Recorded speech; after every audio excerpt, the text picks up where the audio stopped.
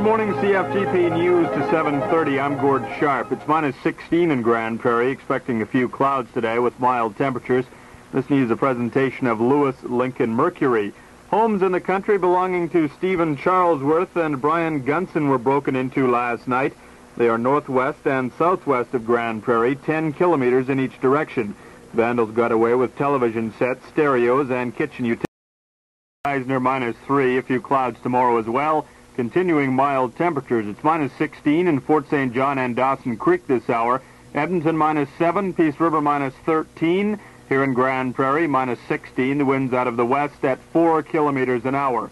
I'm Gord Sharp, CFGP News, a presentation of Lewis Lincoln Mercury. It's 736.